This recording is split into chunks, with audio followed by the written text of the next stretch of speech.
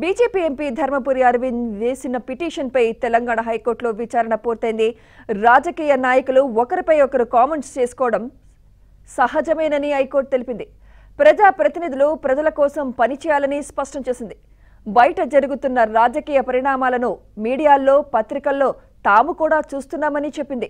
బంజారాహిల్స్ పిఎస్లో నమోదైన కేసు దర్యాప్తును త్వరగా పూర్తి చేయాలని స్పష్టం చేసింది.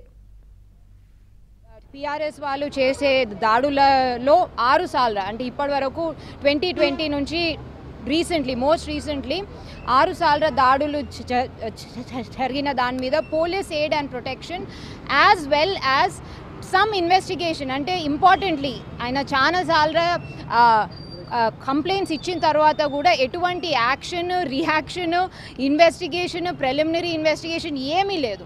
అయితే మొన్న వాళ్ళ ఇంటి మీద ఇంకా వాళ్ళ అమ్మగారి మీద జరిగిన బాడి తర్వాత కూడా మూకుమ్మడి సింక్రొనైజ్డ్ కోఆర్డినేటెడ్ కన్సర్టెడ్ అటాక్ అంటే అక్కడ ఒక ప్రెస్ కాన్ఫరెన్స్లో టీఆర్ఎస్ పార్టీకి చెందిన ఒక నాయకురాలు చెప్పులతో కొడతాము ప్లస్ చంపేస్తాము. అంటే ఇట్స్ అ డైరెక్ట్ థ్రెట్ ఆ థ్రెట్ తర్వాతనే ఇమీడియట్గా కోఆర్డినేటెడ్గా సింక్రొనైజ్డ్గా జరిగిన అటాక్ వాళ్ళ ఇంటి మీద ఇంకా వాళ్ళ అమ్మగారి మీద జరిగిన అటాక్ మీద ఇవాళ ఫైనలీ ఇన్ని బాడులు జరిగిన ఇప్పటి వరకు ఇది ఆగేటట్టు లేదు.